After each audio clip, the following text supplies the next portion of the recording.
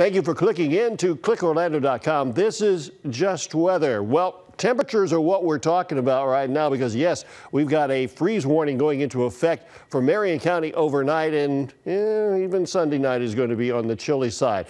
You're going to see this temperature of 74 degrees. That was the high temperature on Saturday, but it happened at 20 minutes past midnight. Therefore, the rest of the day, the temperatures just kept going down and down and down. And the low temperature, that's not it either, because the low temperature is not going to be set until at 11.59 on Saturday night. So when we recorded this, we didn't know what the low was going to be just yet. All right, here's what's going to happen. We've got a pet situation here. All the kitties and doggies need to come inside. I think limited frost tonight. Tomorrow night's another story, but tonight, because the wind is going to kick up enough to keep the frost down. Marion County freeze warning goes into effect and then wind chill advisory for Sunday morning. Out the door, you need a coat.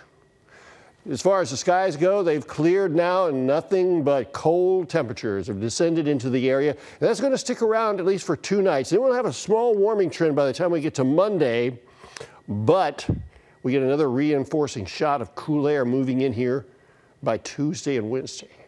Look at this.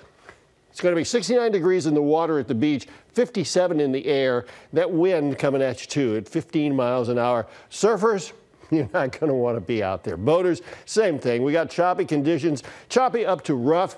Seas running about five to seven feet. Yeah, it's not a beach day. Temperatures overnight dropping down to 32 in Ocala, 34 in the villages, 37 in Leesburg, 39 in Kissimmee, 43 is the hot spot in Cocoa Beach, 36 in Melbourne, Daytona Beach. 35 degrees. For the Orlando area, the overnight low is going to be 39 degrees. Here's what's going on tomorrow, hour by hour. Those temperatures should start out at about 40 degrees and then get up to 53 by noon.